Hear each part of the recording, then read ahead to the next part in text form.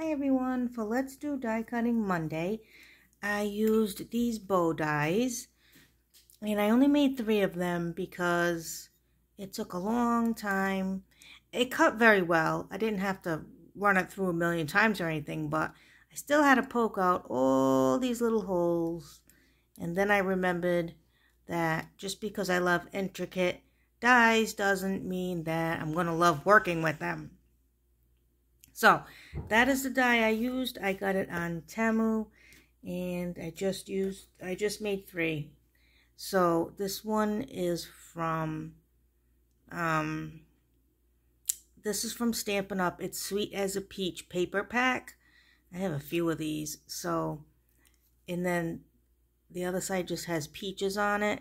And that's another thing that I don't know if you guys have an issue with this, but I started making these with single-sided paper, and then you could see all the white and everything around it inside, and I threw it out because you can't, you know, you could, it didn't look good.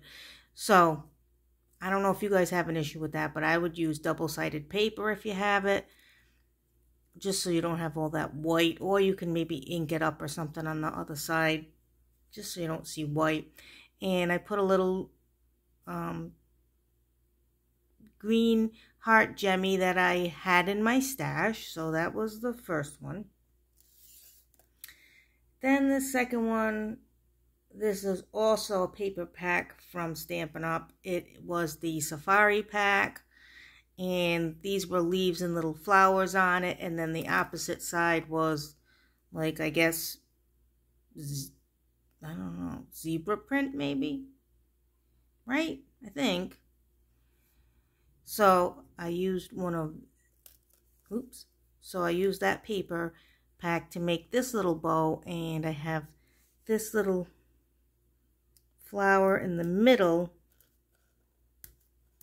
that um I got from Hobby Lobby.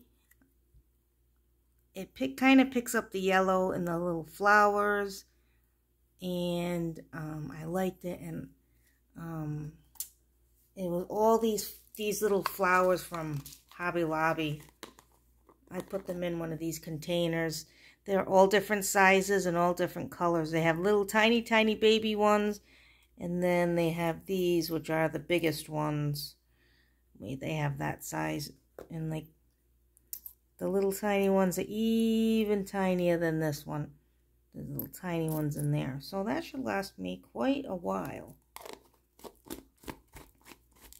And this container I got from um, Dollar Tree last year, Baked with Love. It came with three in a pack, and they all have different sayings up here. So I keep my little gems in there. And then the last one I made, this was some Gina K cardstock. It's pink with a little design on it, and you really can't tell because the camera is making it look like a cream color, but it's not. It's a pink. And um, she was doing a card kit, and when she does card kits, you know, when she does bundles, you'll get a few things, but when she does a card kit, you'll actually get some paper, you'll get ink, you get a little bit more in the card kits, which she she does the bundles more than card kits per the per year, but so um, it was the pink, the blue, the yellow, and then there was like a a grayish color. So that was in my my stash, and it's you know on the same side. And I put um I didn't have any light pink um hearts, but I used this pink heart because I thought it kind of um eh, made it stand out a bit, and so I thought that that was nice. So that's what I did today for die cutting Monday. Here are my little bows. And here is the die. Um, I have a couple of these.